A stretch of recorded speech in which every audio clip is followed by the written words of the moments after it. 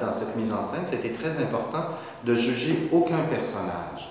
Ce sont des personnages qui, qu'on soit d'accord ou pas avec ce qu'ils disent, euh, eux, ils sont d'accord avec ce qu'ils disent et ils défendent des propos.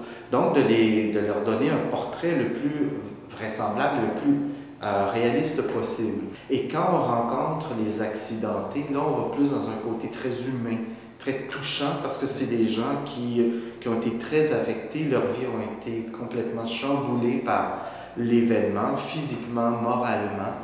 Et il y a une telle injustice qui a été faite par rapport à ces... Nous, on a, on a, arrêté de les appeler des victimes parce que je trouve que c'est des survivants. C'est très rare qu'un acteur puisse connaître son personnage, mais le connaître en l'ayant rencontré. Donc les acteurs ont rencontré les, personnages qui jouent. Euh, donc ils ont la chance de, les voir bouger, de, se mettre le personnage dans leur corps, mais aussi de, de sentir émotivement. Chaque acteur a été très touché, très marqué par ces rencontres-là. Moi, c'est de comprendre la complexité, justement. Euh, et on ne peut pas rendre ça simple.